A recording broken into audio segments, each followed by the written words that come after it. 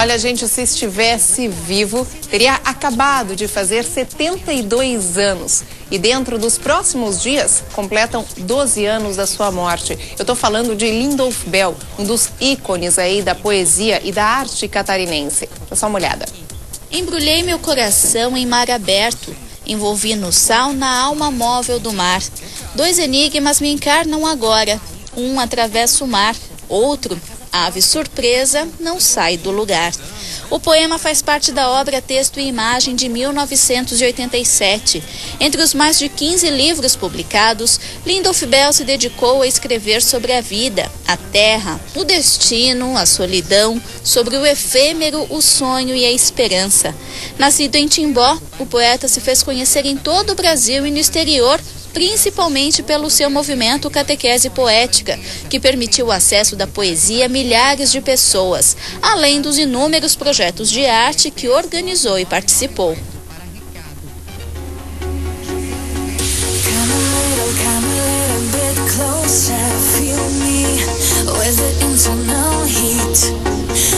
Sonhos de transformar a cidade natal em capital da poesia e a Casa da Família em museu se solidificaram. Hoje, a Casa do Poeta é composta por um museu, um centro de memória, uma biblioteca, uma galeria de arte a céu aberto e um espaço cultural. O local abriga toda a história e referências de vida deste que foi um dos maiores poetas brasileiros, um verdadeiro revolucionário da arte, um amante das palavras. A Casa do Poeta é uma homenagem àquele que nos ensinou que menor que os nossos sonhos não podemos ser. Sem dúvida, Lindolf Bell foi uma grande pessoa, um grande poeta, um grande artista. E para homenageá-lo, acontece na próxima quarta-feira aqui em Blumenau o tributo a Lindolf Bell. Para falar um pouquinho mais sobre esse evento, já estou aqui com a Rafaela Bell. Seja bem-vinda, Rafa. Obrigada, retornando aqui, aqui ao nosso bom, programa, né? né? É verdade. Coisa boa. Rafa, é. esse evento da quarta-feira que vem, até a gente trouxe agora cedo para a galera já ir se programando, né? Porque tem um feriadão aí, aproveita, já verdade. se programa para quarta-feira agora. Vai ser um tributo, três ações ao mesmo tempo. É, na verdade é um conjunto, né? Porque Lindolfo era meio isso também, né? Um conjunto, né? Era é poeta, era marchão, não parava era nunca. crítico, né? Era imperativo. É, totalmente, né? totalmente imperativo. Uhum. E então, é, o que aconteceu, Suzana, foi uma coisa interessante, assim, eu fui convidada para o segundo seminário de arte em Chapecó e tive em Chapecó um mês e pouco atrás, e fizeram uma homenagem linda pro meu pai.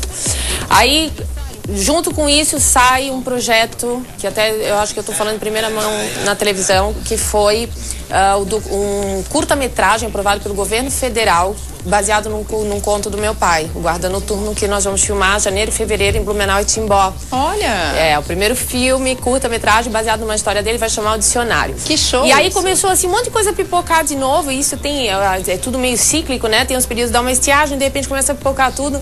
Eu pensei, meu Deus, puxa, eu fui nesse segundo seminário de poesia, Uh, porque ele fez o primeiro dois meses antes de falecer. Uhum. Depois a gente fala um pouquinho mais disso que tem a ver com o livro. Legal. E eu falei, meu Deus, né? Tanta gente homenageando em Blumenau, que foi a cidade, assim, não é a cidade natal dele, que a cidade natal é Timbó, e hoje já concentra a Casa do Poeta, mas Blumenau, eu sinto Mas é assim, é região, né? Aqui. É, mas eu sinto assim, pô, Blumenau foi a primeira galeria de arte de Santa Catarina, a Galeria Suaçu, e eu não percebo muita, muito, muito empenho, assim, né? Se fala mais fora pô, do que É, aqui Carlos nossa... Ferreira, Espeto e Pau, né? Uhum. E, e, eu pensei, puxa, eu acho que seria um momento, assim, bacana da gente fazer um tributo, uhum. de, né, de tudo que ele fez, a gente poder dar. Então, o, o aspecto principal da ideia vai ser o tributo que vai ter. Ah, eu não vou contar tudo, tem que ir, né? Porque tem uma série de surpresas. Perfeito mas convite. É, principalmente vai ter um vídeo muito lindo que eu estou preparando, com um discurso assim bem emocionante, um texto que eu falo um pouco, inclusive, dessa retomada de arte em Blumenau. Quem que foi o próprio lindo? Até a gente está com imagens agora é. da casa do poeta, é. que é o bebezinho da Rafa, é, ela fala assim, né?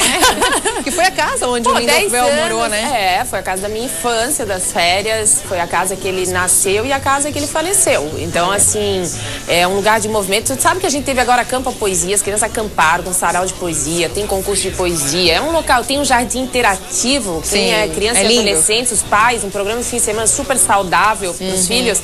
Dá uma visitada, que é a história da poesia dele toda contada dentro do jardim. Uh, então, é, muitas coisas de novo acontecendo. Então, nós vamos ter esse vídeo na noite em seguida, um leilão de artes, porque meu pai fazia muitos leilões. E sempre que ele fazia leilão, ele tinha sempre o objetivo de ajudar uma entidade. Então, ele ajudou a PAI, a Rede Feminina de Combate ao Câncer. Então, agora nós estamos fazendo leilão e a, a 10% da renda líquida do leilão vai ser revertida para a Casa do Poeta. Quer dizer, a galera pode ir lá no evento, adquirir suas peças até, de repente, para o Natal, aí um bom Exatamente, presente de Natal. Tem, né? A galera pode fazer isso e vai estar tá contribuindo também com uma causa social. Exatamente, porque assim, é... A Casa do Poeta hoje ela é ligada à Prefeitura Municipal de Timbó, uhum. né, a Fundação Cultural. Mas a gente sabe que sempre, né, precisa de algumas, alguns extras, assim, para dar um up a mais, assim, na casa. Então, uhum. a ideia é essa. É, é um tributo de, de agradecimento. Ô, Rafa, e lá vai estar, tá é, é, é, vão ser expostas obras do próprio Lindolf Bell e também de outros artistas. É. Então, para dar continuidade é, nesse verdade, movimento da assim, arte, né? Até porque Lindolf Bell foi o um exemplo naquele catequese poética, quem não lembra, é uma forma de fazer com que a poesia estivesse em vários locais, inclusive em camisetas, em sacos de pão, quer dizer, para praças públicas popularizar, né? É, popularizar é, a poesia. popularização, catequese uhum. poética. É, primeiro eu gostaria de falar, porque é tanta coisa, às vezes eu me perco. Falar o seguinte, que até mandar um beijo pro Daniel e pra Marion, que são os proprietários da Mabec Espaço de Arte, que está na Ponta Aguda, um beijo, uns onde vai ser o leilão, é, que fizeram assim um espaço assim de coração, de alma, é, um espaço de contemplação de beleza, como meu pai falava, um espaço de troca, um local para cursos, para exposições. As obras, a gente é, já tem algumas obras que a gente está mostrando é, aí que vão que estar, maravilhosas, né? que vão né? estar expostas na quarta-feira. Então, é, primeiro eu acho muito importante falar isso, porque uma cidade sem cultura é uma cidade sem história. É, se a gente pensar um pouquinho para trás, por exemplo, a casa, o rosto do rei Luís XV, a gente não saberia se alguém não tivesse retratado. E a história guernica do Picasso que fala da, da guerra. Então, assim, a, a história humana, ela tá ligada à, à, cultura o tempo todo. A cultura uhum. representa a nossa história. Então, quando a gente não tem um espaço é, que possa mostrar essa história, existe um vácuo, um abismo praticamente é, dentro de uma comunidade. Então hoje é uma frase que eu estou levando e que eu digo, eu acho que Blumenau merece ter um ponto de cultura que é a Mabec. Então, o que, que a gente está trazendo? A gente está trazendo a exposição 30 anos de catequese poética, que foi um projeto meu junto com a Ivone Guns, que era presidente da Fundação Cultural Timbó, uh, que são os 30 anos de catequese desde os primeiros recortes do jornal de 1958 de São Paulo. Legal, até um o, pouquinho da história, o pessoal vai estar tá Toda sabendo. a história. É, São os 30 anos de catequese, uh, plotados em painéis, vão estar tá todos espalhados pela calçada na frente da Mabec. Em seguida, nós vamos ter o lançamento do livro O Ser Humano e o Destino Poético, uh, que é um livro que muito bacana, que foi o primeiro seminário de poesia de Chapecó, que foi feita a transcrição pelo Giovanni de Santos. É, tá, e aqui no finalzinho ainda tem um DVD com ele no seminário, com toda, todo o seminário que ele deu. Que legal. Uh, e em seguida daí, depois, todas as homenagens, um vídeo que tá assim lindíssimo, que inclusive muitas pessoas vão se encontrar em fotografias, porque a gente fuçou assim o baú do Centro de Memória Lindolfo Bell, que nós temos mais de 1.500 imagens catalogadas. Então tem coisa do Arco da Velha. Assim. E vai começar que horas, Rafa? Começa às 19h30. Sete e meia uh, da noite, na quarta-feira. É, na rua Assunção 162. Aqui na Ponta, Aguda, Aguda em é, Blumenau, fácil, pertinho. Tem lugar para estacionar. Lugar... Galera de Timbó que está nos vendo, pessoal é. da nossa região, a história de Santa Catarina. Não pode se esquecer uma pessoa tão importante que fez parte aí da história de Santa Catarina. Aí você tem atrás dessa camiseta, Rafa. Hum, então deixa eu tá mostrar a camiseta do evento que é tão linda. O ser humano não é ilha mais partilha que eu acho que resume isso que a gente está falando, Aí, é, né? Tudo. E eh, depois eu vou agradecer os apoiadores, que isso é muito importante, mas eu queria falar assim rapidamente esse projeto meu e com duas sócias, a Ivone Guns, que vai ficar na área de projetos, e a Ornélia Jacobsen, que é da Galos Brasil, chama Arte para Usar. Esse a gente vai colocar no site, vai ter um site a partir de 2011, a gente vem depois falar disso, se tu me convidar. Mas claro, já tá feito convite no então, tá bom. e um, que é um projeto que visa representar alguns artistas e mas principalmente trabalhar com a poesia de Lindolfo em objetos, em louça, em jogo americano, em, em, em chinelo, Ai, vai ser em camiseta, isso. em tudo que tu que pode ótimo, imaginar. Isso assim, ótimo. claro, com design gráfico super contemporâneo, bacanérrimo. Que ideia, hein? É. Então esse é meu projeto assim de vida, na verdade, agora. Show, show. Né? Rafa, nesse evento de quarta-feira, vai ser cobrado algum ingresso? Não, a entrada, entrada... é franca. É, então, como eu falei, primeiramente o evento ele provavelmente deve abranger uh, mais pessoas, porque para o tributo. E em seguida, então, a gente entra numa parte um pouquinho mais séria, que é o leilão de artes. Eu queria dizer o seguinte, é, a, o leilão ele foi feito em duas partes. Uma parte é acervo do, da Mabec, uh, que é a curadoria da Marion e do Daniel, que tem obras maravilhosas de artistas do Brasil todo. E a outra parte, então, eu fui no ateliê de todos os artistas, um por um, e fui escolhendo as obras. Então, foram escolhidas assim, com muito carinho. Tem obras de preço assim bem bacanas para presente de Natal, presente de casamento, presente para si mesmo. Show.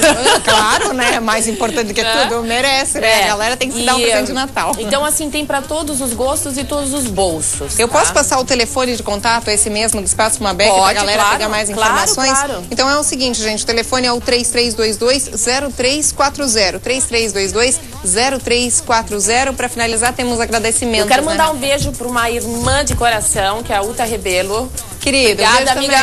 É, que é uma fofa, que está sempre junto comigo nos meus projetos. Uh, e eu preciso agradecer aos patrocinadores, porque realmente sem eles as coisas ficam bem mais difíceis de serem Mas, feitas, né? Mas aqui no programa não é diferente. É. Então vamos lá, a Malve, um abraço à cultura, né? A construtora Stein, a companhia Ering, a Herman Decanter, a Tecnoblue, Casa do Poeta Lindolfo Bel, Projeto Arte para Usar, Tabajara Tênis Clube, Galos Brasil, Lista VIP do Gustavo Siqueira e, claro, o Espaço de Arte Mabec. Show, bacana.